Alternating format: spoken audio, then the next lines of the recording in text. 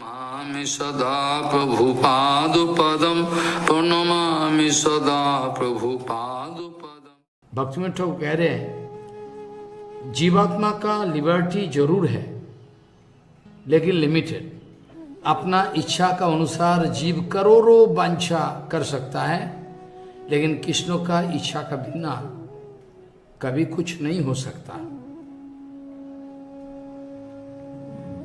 जीव दुर्बल है यद्यपि जीवों का लिबर्टी है, फ्री विल है, भक्ति में कह रहे हैं, जीवों का फ्री विल ज़रूर है। लेकिन ये फ्री विल परम स्वतंत्र भगवान के द्वारा नियंत्रित है।